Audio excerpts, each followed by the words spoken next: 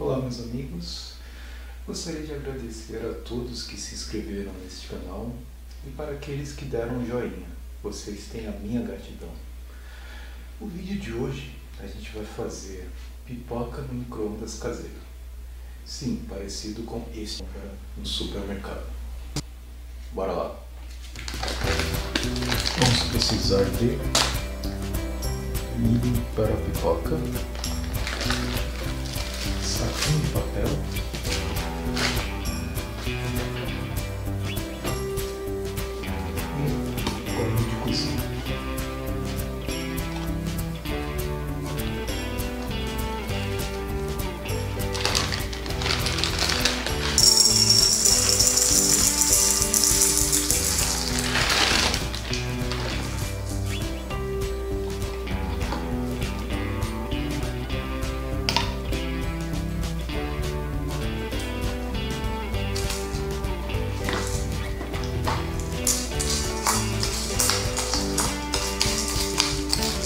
Misture bem o óleo com a pipoca.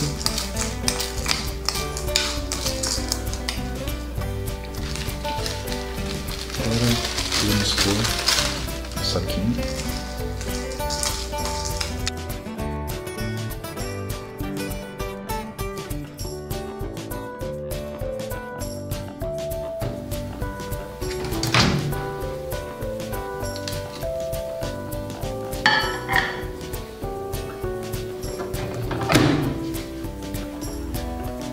Dois minutos na potência máxima.